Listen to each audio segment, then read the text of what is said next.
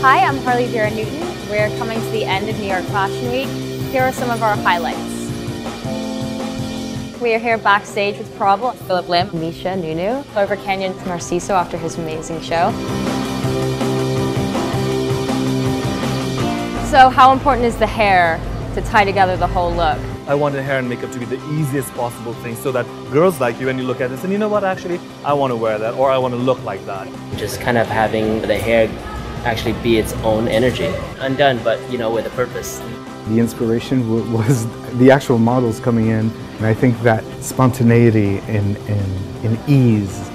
We have created this beautiful image of a waterfall and we really wanted that sense of the heat and the humidity. There was something about it that didn't feel overly done or fussy. I never really want to do a hairdo that feels like my girl wouldn't wear it or couldn't do it herself. Thanks for hanging out with us this week. We'll see you soon.